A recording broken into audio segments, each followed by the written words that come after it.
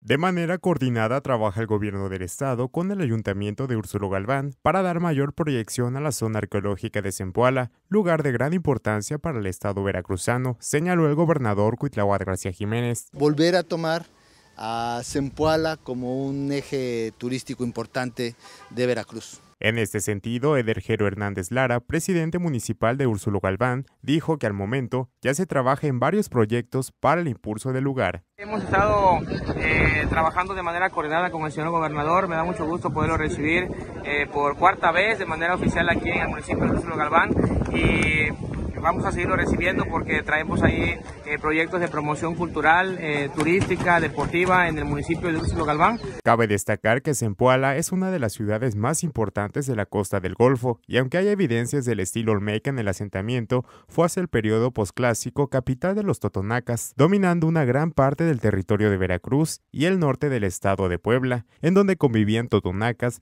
chinantecas y zapotecas, reuniendo alrededor de 50 pueblos. Cristian Morgado, RTV, más noticias.